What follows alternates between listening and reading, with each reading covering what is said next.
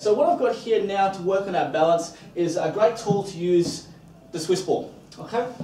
What I'm going to do here is just briefly show you how to get on the Swiss ball initially. Okay? And that's with our four point touching. Okay? So what I'm using here is my palm on my right side, palm on the left side, and both knees. Okay? And I'm just going to roll slightly onto the ball and hold that position there. Okay? And that's the initial starting position for the Swiss ball to work on our balance.